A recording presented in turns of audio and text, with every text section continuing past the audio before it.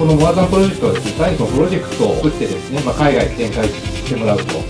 いうことだけではなくて、そのプロジェクトの成果をですね、皆さんに共有をして、まあ、より大きなあの輪に広げていくと。こ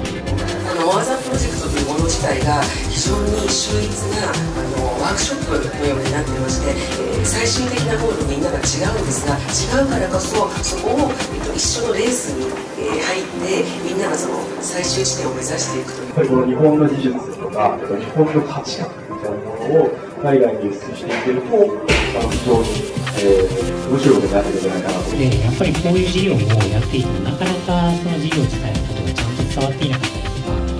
知られていないことでチャンスが全然つかめていないっていうことが現状として本当にたくさんあるんですね事業者の人たちが連携をしていくことで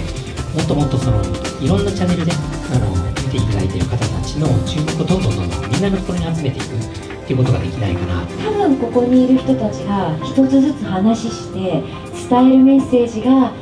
日本ってやっぱりいいよねっていつか行ってみたい国だよねってその国のものを使ってみたいっていうそういう一つずつの大切な基盤になっていくんじゃないかなというふうに思っています。